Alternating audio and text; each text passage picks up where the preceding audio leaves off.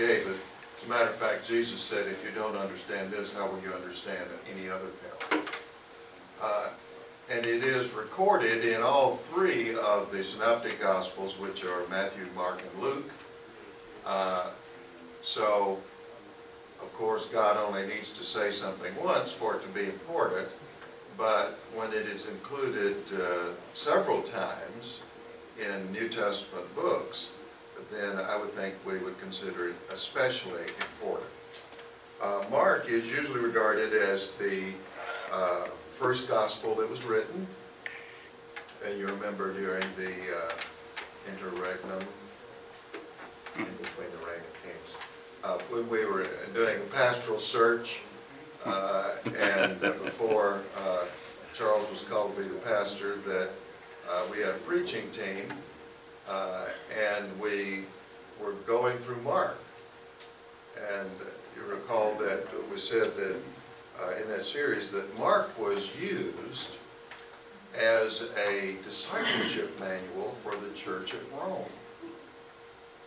Remember, this was John Mark, the one who had washed out of his first term of missionary service when, as a young man, he went with Paul and Bar, uh, Paul and Barnabas on first missionary journey. They went to Crete, and Paul had this power encounter with Elymas the sorcerer, and John Mark was scared to death. So he jumped onto the first ship home, and then Barnabas wanted to carry him back on the second missionary journey, and Paul said, not on your life. Uh, and I think Paul was right. I think that at that point in his life, John Mark was not ready to be a pioneer missionary. Uh, but Barnabas uh, took him under his wing and discipled him, as did Peter, who was also a notable successful failure. Uh, and he became uh, part of the uh, Church at Rome uh, and wrote his gospel as a means of uh, discipleship for the church at Rome. And most scholars think that uh, John Mark's gospel is based on Peter's recollections of the ministry of Christ. And it is interesting that uh, the most prominent person in the gospel of Mark, given by, to Mark by Peter, uh, was the Lord Jesus Christ. But the second most frequently mentioned person in the Gospel of Mark is Peter. the Apostle Peter. Uh, Here we are at Mark chapter 4, beginning at verse 1. He began to teach beside the sea, and a very large crowd gathered about him.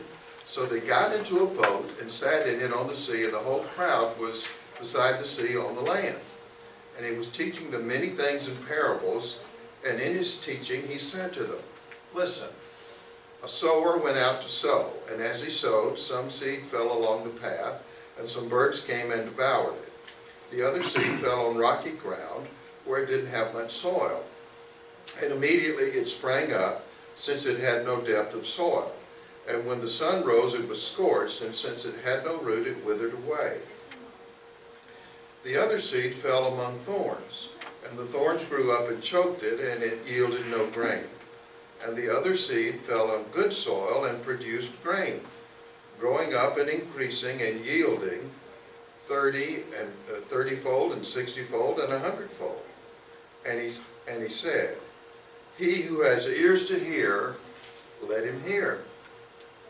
And then uh, you have the purpose of parables uh, in verses 10 through uh, uh, thir- uh, tw- 10 and 12.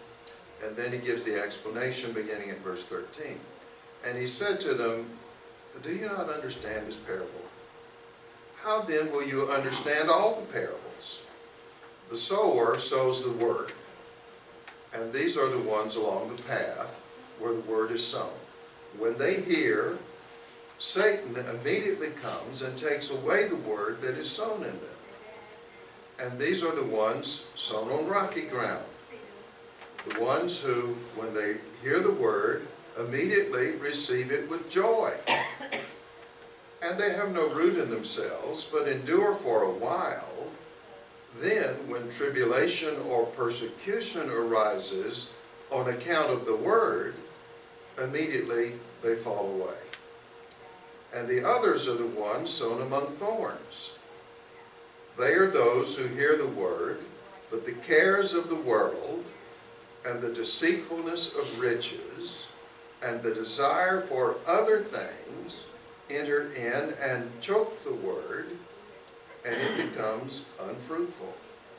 But those who are sown on the good soil are those who hear the word and accept it and bear fruit, 30, 60, and 100 fold. So, this, the, the time of this, of course, is in the second year of Jesus' ministry, the year of opportunity. Uh, It's in Capernaum, uh, where there was a major synagogue, and uh, Simon Peter's house is just uh, uh, about a 120-yard pitching wedge shot. Uh, Of course, they didn't have golf back then.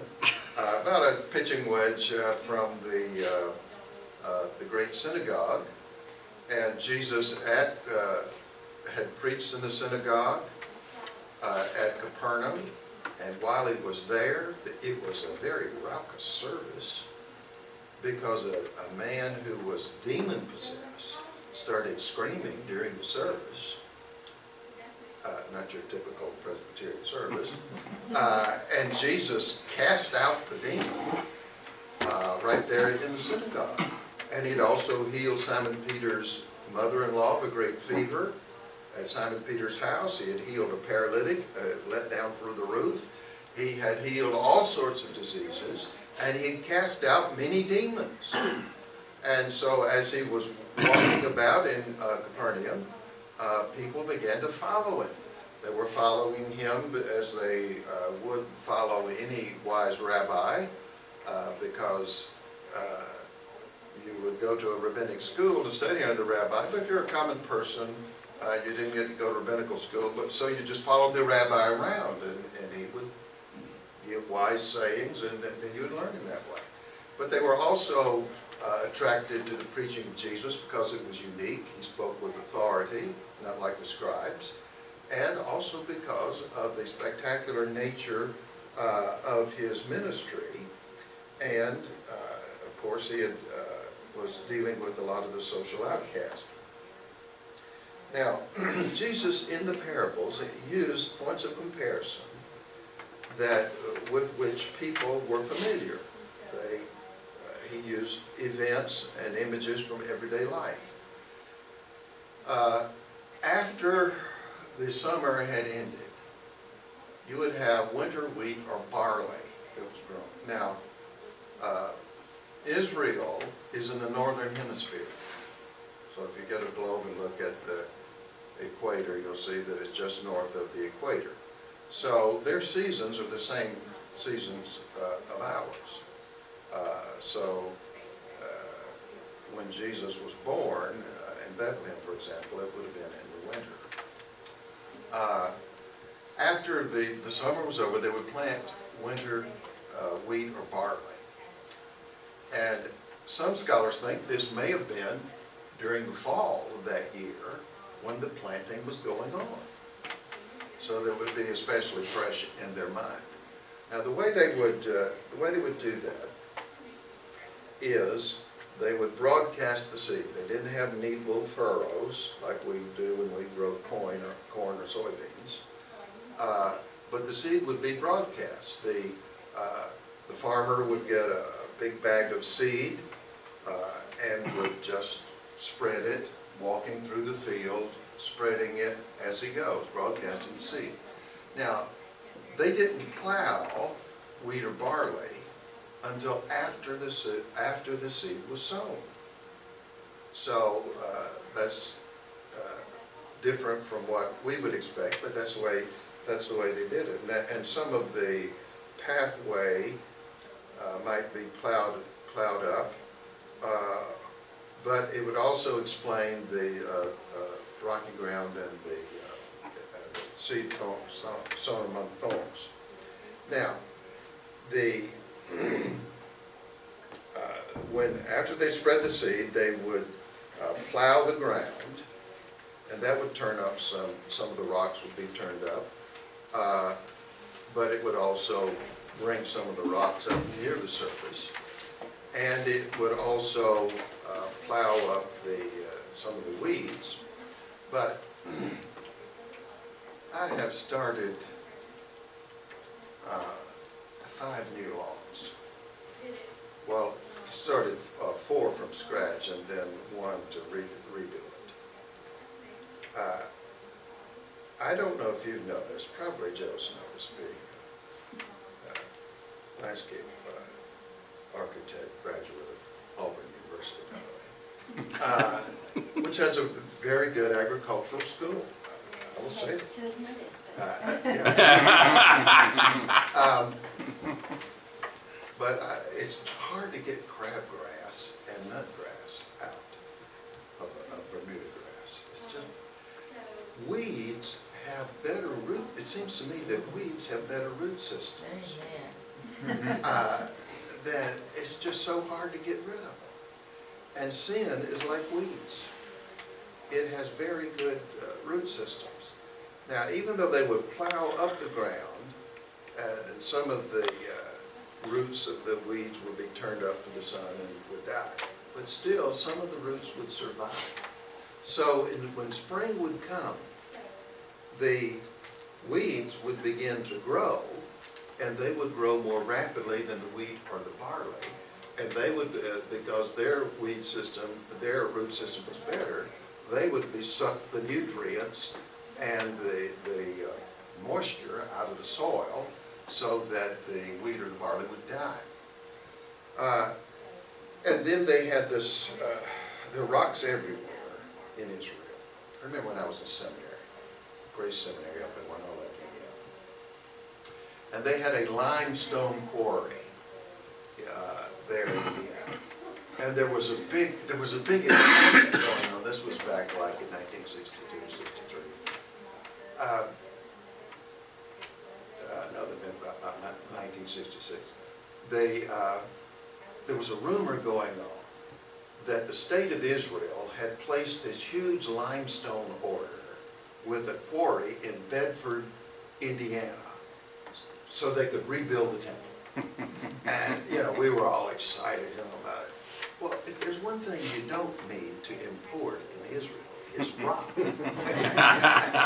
have a lot of rock. And uh, there, that would be in the soil.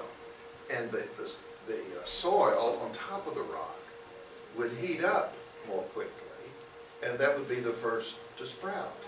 But because there was rock instead of good soil, the root system couldn't penetrate the rock, and it would die. So you had the, the problem with the rocky soil, you had the problem with the, uh, weed, the, the weeds as well. Then some fell on good soil, and what you would expect would be a tenfold, uh, uh, crop. But Jesus talked about a bumper crop, 30, 60, 100 fold. Now, when we think about the significance of this parable, what Jesus said was profoundly simple, but simply profound. Because there was, there was more to what he said than just first thought. Uh, Jesus didn't use big words like Paul does. Fact, Paul even invents some words by jamming several words together.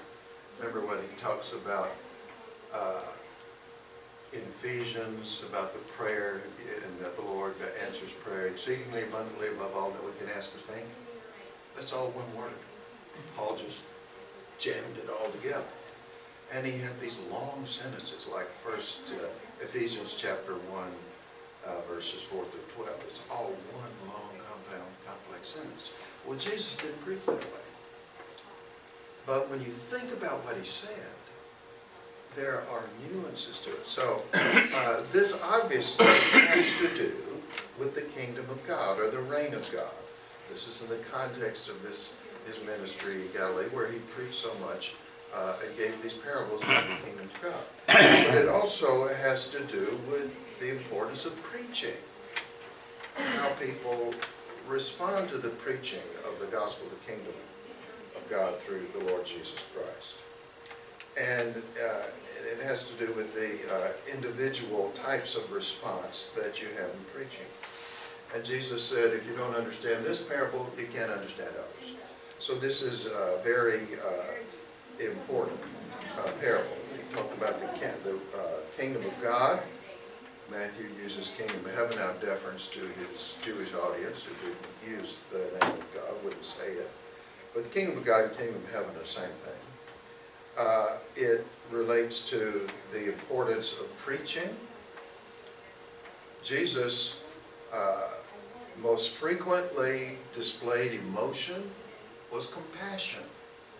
He had compassion for people in suffering. And not everybody whom Jesus healed, or people uh, whom Jesus, from whom people, he exorcised demons, cast out demons. Not all of them were converted. Not all of them thought, oh, I'm going to trust in Christ. They were just glad to be rid, some of them just glad to be rid of their affliction. Uh, so Jesus demonstrated his compassion. But these works of power were also evidence of the fact that he was the Messiah. Uh, remember the incident with, John the Baptist? And uh, John said, are you really the Messiah? Or should we look for another? Jesus said to the disciples of John who had asked him the question while John was still in prison, go back to John, visit him in jail, and tell him this. The blind see. The deaf hear. Lepers are cleansed. The dead are raised. He'd already raised uh, the daughter of Jairus from the dead. And the poor have the gospel preached to them. Now why did he, he was quoting from Isaiah. Isaiah was, was saying that when the Messiah comes, these are the works of power that he will do. So when uh, Jesus gave these uh, works of power, uh, it demonstrated that he is God uh, and that he is the Messiah. Uh, but he, he did things that only God could do, like the paralytic man let down through the roof. He, first thing he said to him was, your sins are forgiven. Then when the Pharisees in the room in Peter's house harumphed, he said, all right, in order that you'll know that the, I, the Son of Man, the Messiah, has the power to forgive the sin, something only God can do, watch this. Take up your bed and walk. And the man gets up and he's healed of his paralysis. So uh, Jesus did that. But the most important thing Jesus did was his preaching. And when he sent out the varsity, the uh, 12 apostles, he gave them authority to cast out demons and the ability to heal people of their sicknesses, but he commissioned them to preach. And then the B team, the 70, he gave them the same authority and the same commission. And when the B team came back, after their first preaching tour, they cast out so many demons, seen so many people healed, they were just ecstatic. But Jesus said, do not rejoice that the demons are subject to you, but rather rejoice that your names are written down in heaven. So the commission to the church uh, in the Great Commission involves preaching and teaching, and that is the substantial part of the mission of the church. Now the church has always done works of ministry. Uh, some, sometimes through uh, unusual workings of the Spirit of God, uh, or other times through ordinary means, like many hospitals uh, have been established through Christian ministry. I grew up in Birmingham, and before we had a uh, public government-run hospital, we had St. Vincent's Hospital, a Roman Catholic hospital.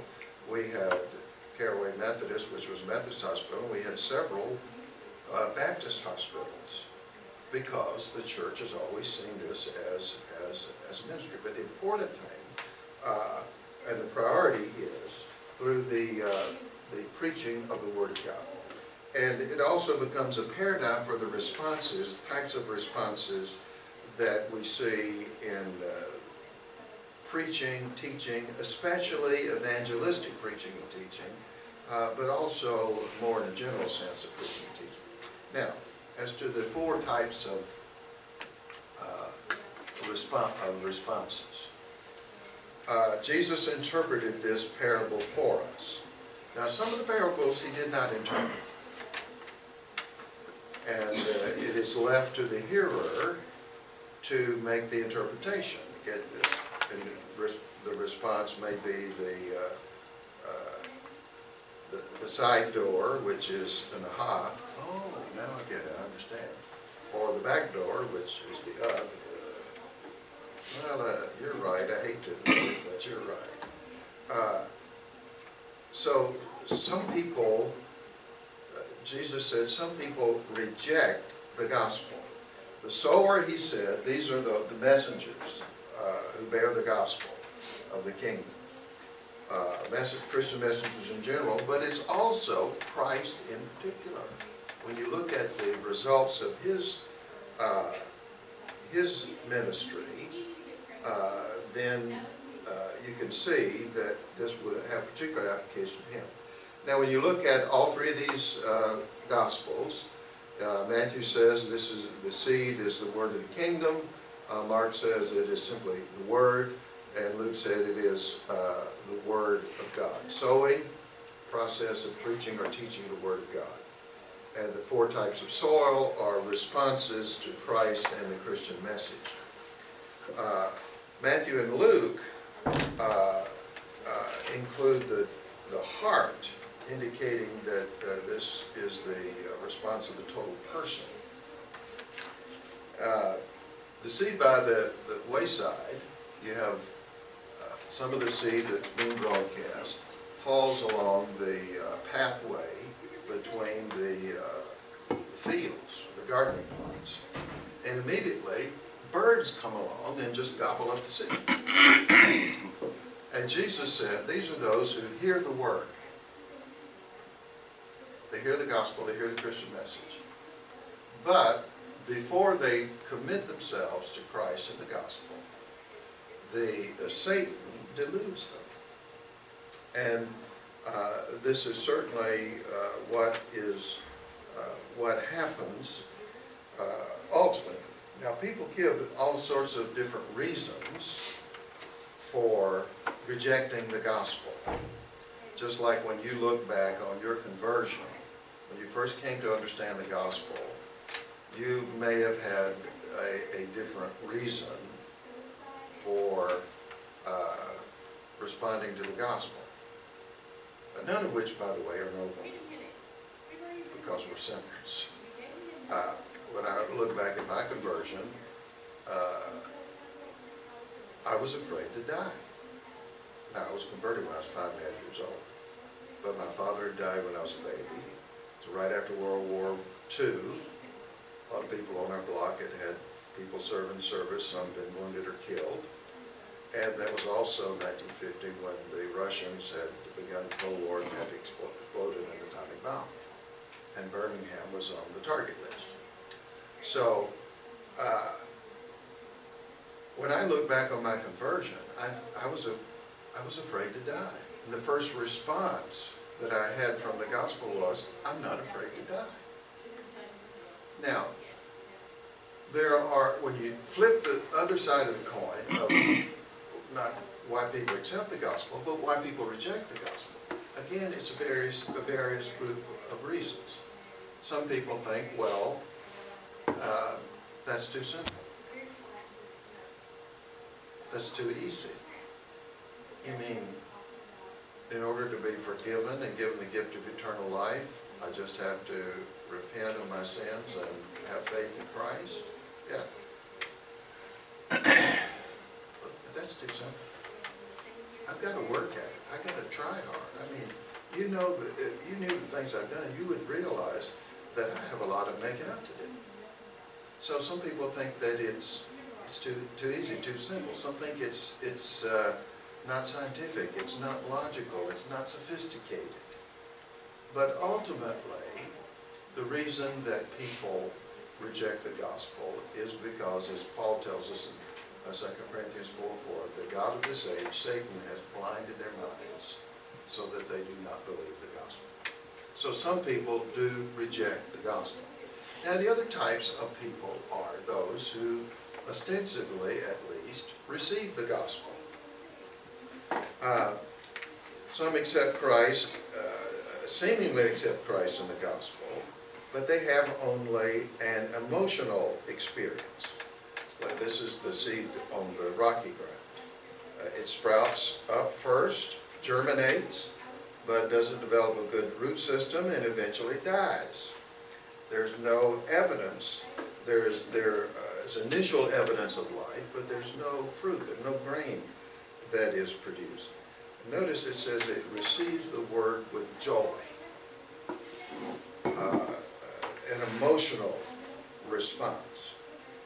Uh, and the, the factor that comes into play that shows that this is not a genuine conversion would be affliction or persecution uh, due to the Christian message or lifestyle, uh, or dealing with life's problems.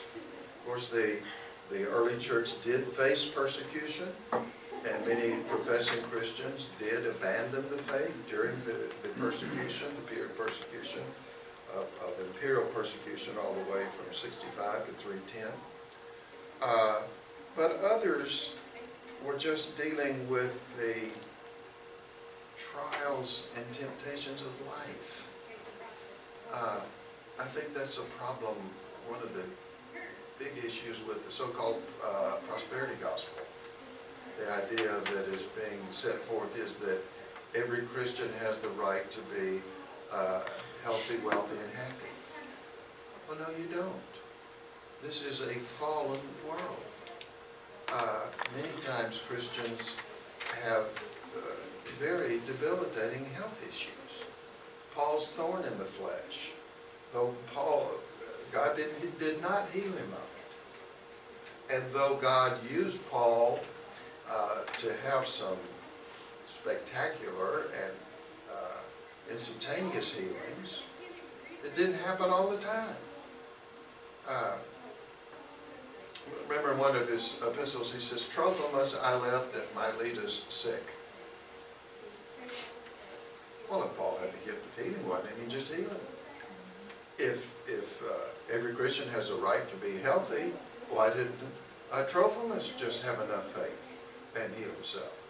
And when uh, Paul uh, had his thorn in the flesh and he prayed very earnestly that God would take it away, God said, no, I'm not. My strength is made perfect in your weakness.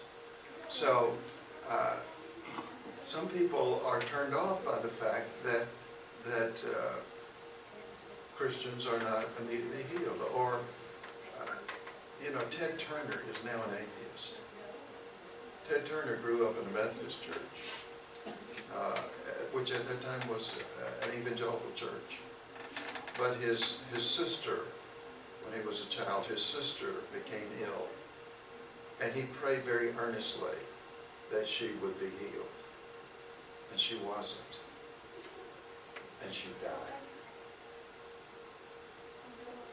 And that's what Ted Turner says he became an atheist.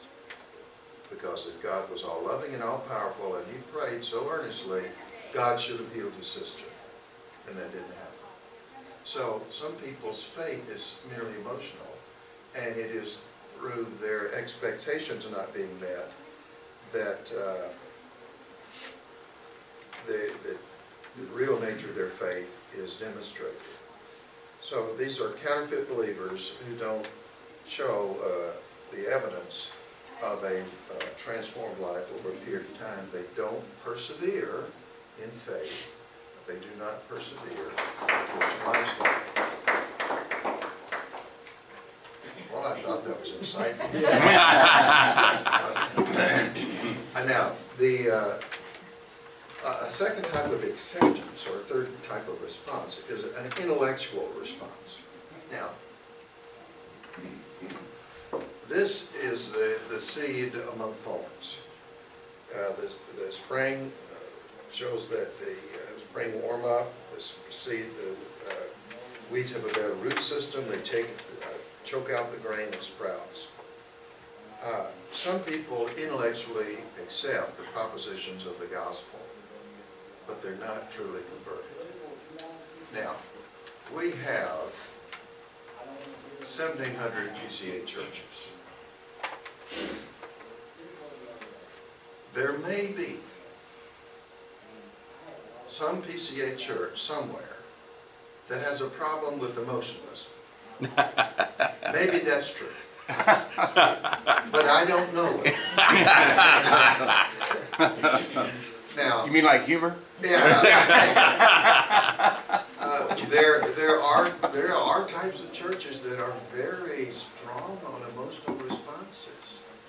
Uh, That you have to cry and weep or laugh or be slain in the spirit and fall down on the floor or speak in tongues. There's even one denomination, the Church of God of Prophecy, that teaches you have to speak in tongues in order to be saved. Uh, So there, uh, there are types of churches where emotionalism is a problem.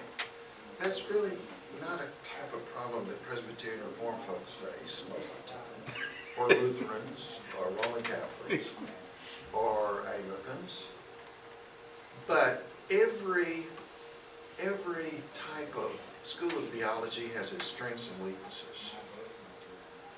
And the Reformed faith, also amongst Lutherans and Anglicans, um, and I would say to a degree amongst Roman Catholics, uh, the, the, the faith is so well defined, and particularly in Reformed theology, our theological precision is strength and also the great weakness of our system. The Westminster, the 39 Articles of Religion uh, of the Church of England are rather brief. It's a Reformed document, by the way, but this is rather brief. So the Westminster Assembly was called by the Puritan Anglicans to expand and make more precise the 39 Articles of Religion. And so they uh, have, they came up with 33 chapters of the Westminster Confession of Faith, and then they added the larger catechism, the shorter catechism, and it's much more detailed and much more precise. Now, what happens when a syst a type of theology that emphasizes precision, what happens when it goes to seed? Bare intellectualism. Academia, cold academia. And that is the uh, way that many churches have to face renewal because it's just an intellectual concept. Now, some people do, do think of evangelism as just uh, accepting propositions. Uh, James Engel wrote a book on Christian communications. He taught at uh, Wheaton College. Uh, and this was, uh, this was covered in 1979. Okay? So Christian communication, he has a, uh, a, a, an instant here where he, he refers to the world's greatest soul. And was a fellow in Chicago who had been written up in several Christian magazines back in the 1970s. And uh, he kept statistics on how many people he had led to the Lord. And he had, in 1979, he had recorded over 8,000 people that he supposedly had personally led to, to Christ, faith in Christ, through his witness. But he had it down to such a simple gospel presentation that he claimed that he could lead people to the Lord in between the cycles of traffic lights in Chicago. And that in one day, he had led over 200 people to Christ using this method. So what it was, of course, in the 70s, maybe people would talk to you more back then. Uh, as they were at a traffic light, he would be, uh, you know, some of them could be rather long. He'd be he would roll down his window and talk to the guy, persons across the, uh, the way from him, the next lane, Uh, have you ever done anything wrong? Yeah. Well, you're a sinner. You know, Jesus died to save sinners. And uh, if you say you believe in Jesus, then you'll get eternal life. If you believe in Jesus, oh yeah, life changes. Another decision. And sometimes he would even claim whole carloads of people uh, who would make decisions Christ. Bell to ringer. Yeah, so the, the idea uh, that uh, accepting the gospel is just accepting propositions is very much subject to abuse. Now, we try our best to be sure that people are converted uh, when they come into the church. And churches have developed all sorts of systems to do this. The early church did that. The early church new members class was three years long. Three years that you were taught, the catechumens, the people who were taught. Uh, and, and, then after persecution ended in 310, there were so many people who were flooding into the church, they shortened it from three years to 40 days. Hence the beginning of what we call Lent. And uh, then people would make their profession of faith on, uh, on, uh, on Easter Sunday. Uh, so we, we have these uh, different systems uh, the early church had, or some churches have communicant classes, new member classes, maybe six weeks to a year. Others emphasize uh, walking the aisle, making a decision.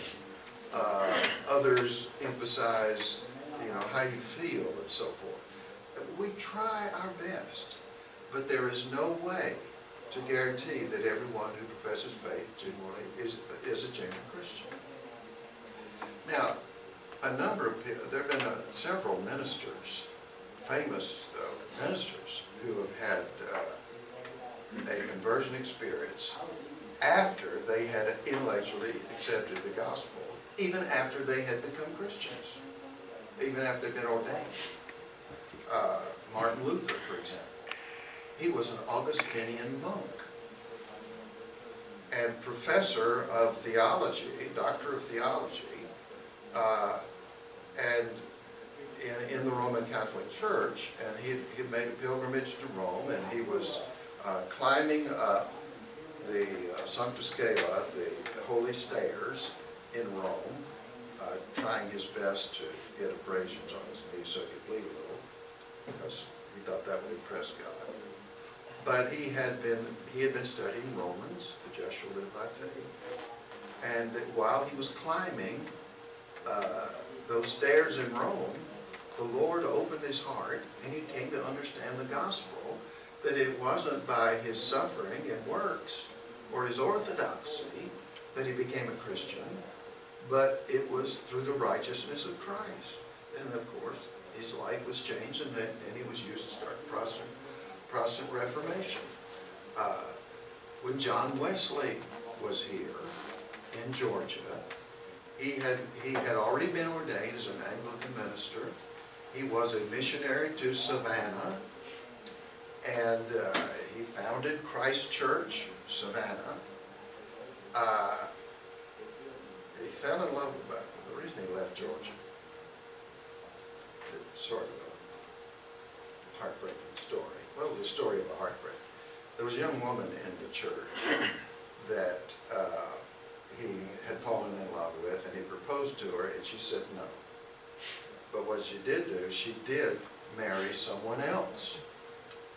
And when they uh, came for communion, John Wesley would not give them communion, his former girlfriend and her new husband.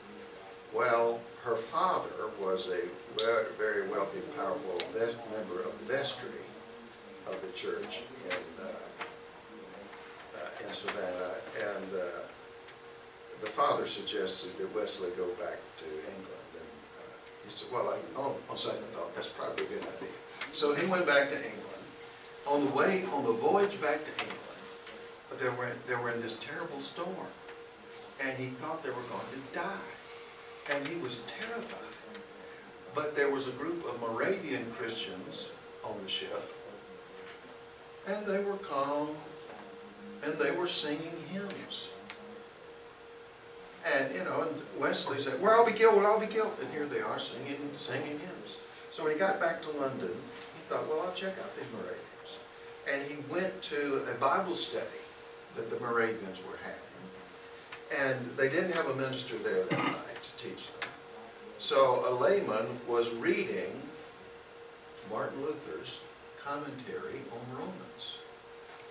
And he was reading the, the introduction to the commentary in which Martin Luther was recounting his testimony of how he came to understand the gospel.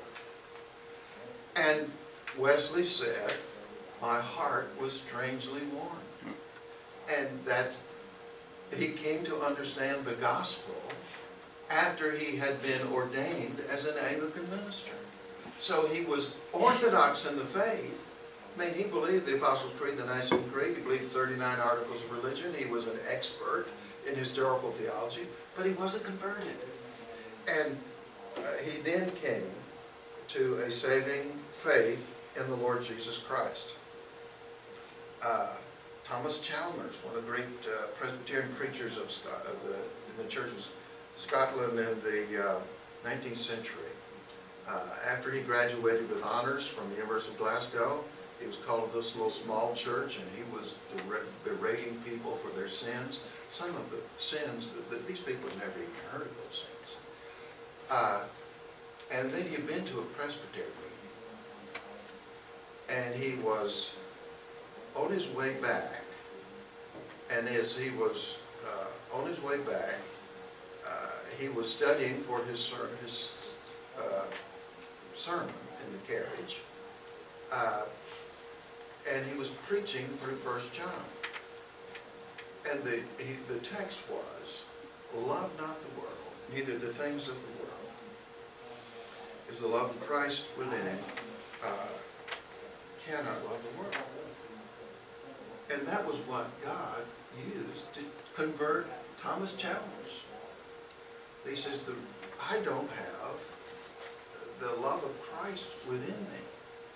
And he was he was converted, and he went back and preached uh, the next Sunday, and the time of his sermon is one of the most well-known sermons in history of 19th century preaching, the expulsive power of a new affection. And the basic idea of the sermon was the only way to drive out the love of the world in our hearts is the love that we have for the Lord Jesus when we fully understand and experience the gospel.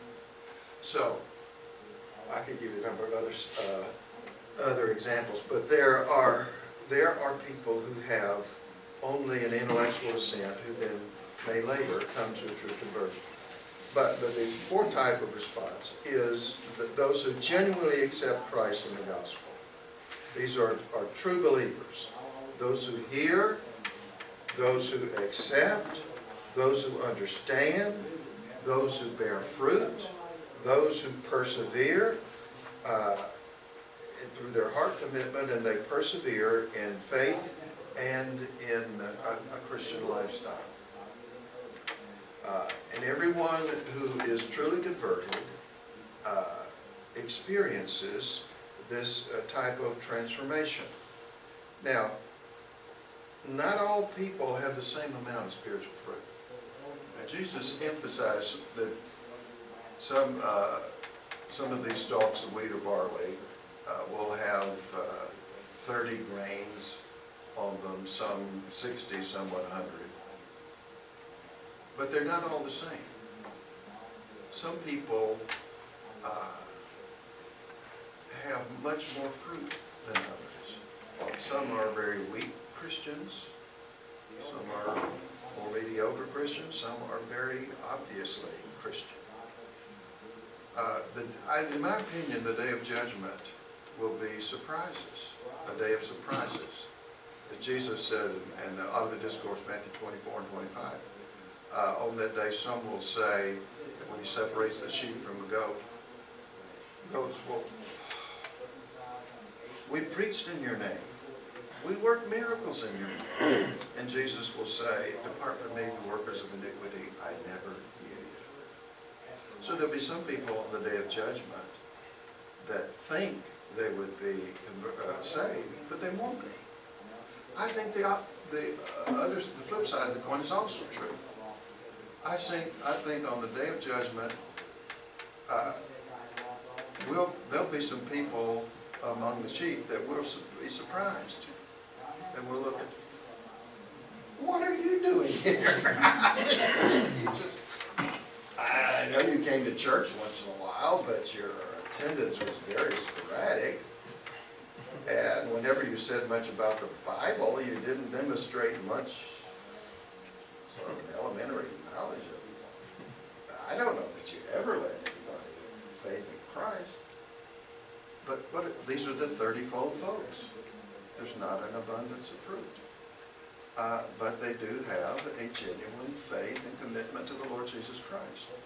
And then the sixtyfold people, you know, they're the, uh, the ones that are the ordinary Christians.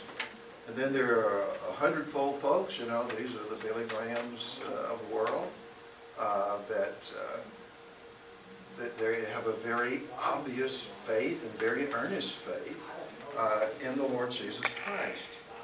Uh, Then those who produce fruit, they, they not only uh, give evidence of conversion, but they persevere. They don't wither under the uh, false expectations. They are not led astray by the deceitfulness of riches. They are not led, uh, led astray by the uh, focus on this life only. Uh, Get all you can, can all you get. Uh, They are not materialists. They are not deceived by the pleasures of this world. Uh, But they, they persevere in their faith and in their commitment uh, to the Lord Jesus Christ. So the observation we can make on that. People may reject Christ for a number of different reasons. But ultimately, it's because Satan has blinded their minds. Uh, I told you a couple of years ago about instance uh, with one of my Old Testament professors at Grace Seminary, John Whitcomb, who had been converted while he was a student at Princeton University. And so he was witnessing to his roommate, and his roommate said, well, I can't believe, I can't believe all this Christianity stuff. Well, why not? Well, just take Jonah the whale, for example. There's no way that a whale could swallow a human being. Their, their, their gullet is just not big enough.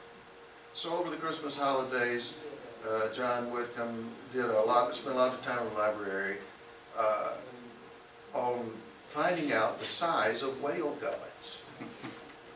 And he found out that there were some whales that did have a gullet big enough to swallow a human being. He even found one instance where a fisherman uh, off uh, the coast of France had been actually swallowed by a great fish uh, and then uh, belched up and the stomach juices had bleached his skin and hair and so forth.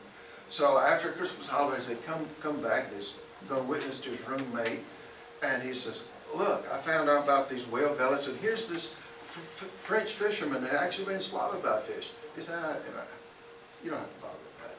He said, why? What happened?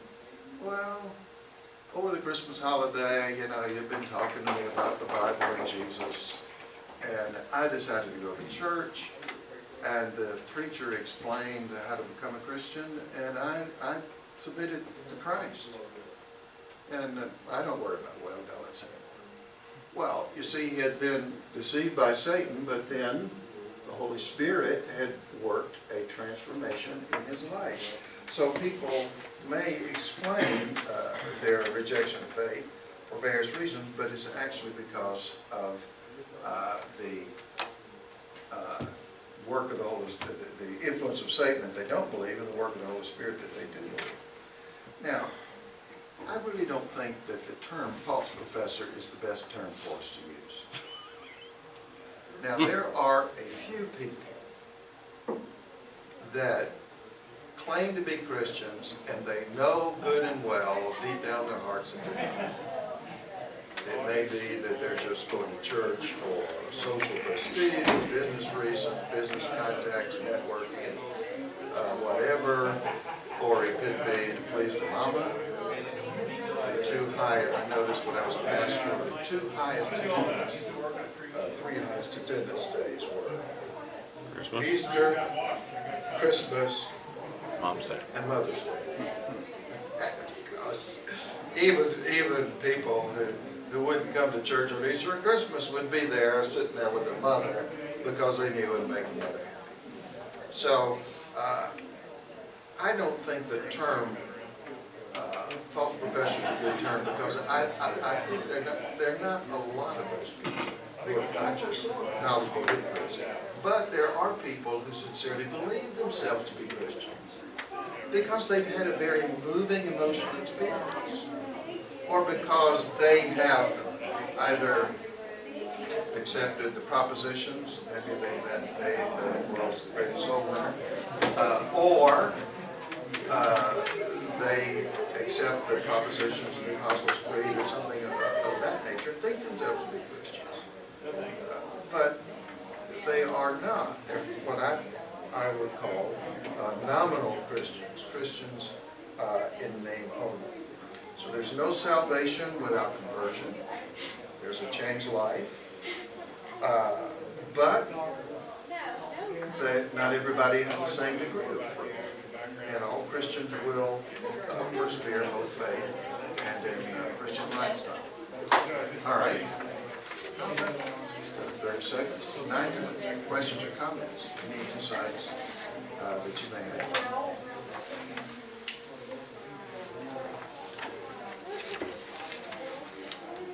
Yes. So John Wesley, after he was converted, became an Arminian. Uh, Well, I think it was always a I thought you said he he was part of the 39 articles and all those things.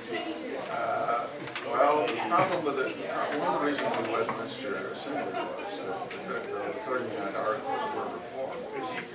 Uh, They were ambiguous enough to allow for different interpretations. And, uh, and the Anglican Anglican tradition ministers, they don't have the uh, type of doctrinal subscription that we do to other Presbyterians. But it is interesting that uh, one of his best friends was George Whitefield, who was a thoroughgoing Calvinist. And they maintained a lifelong friendship, even though they had significant theological differences. And, and Whitefield had a provision in his will that when he died, he wanted John Wesley to preach a funeral. And Wesley did, in three different cities in, in England, to over ten thousand people in one city. And he preached the gospel.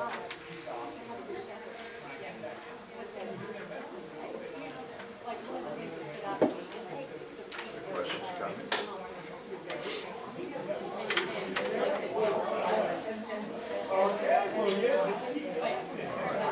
Let's pray. Father, we thank you for your mercy and grace to us. We thank you for the privilege of knowing you and serving you. We pray that you will help us as we uh, share the gospel, as we understand the gospel, as we ruminate over the gospel, that you would help us to understand the uh, work of your spirit in the transforming of our lives uh, the power of the gospel. Uh, Help us now as we come to worship you, that we would worship you in spirit and Jesus' name.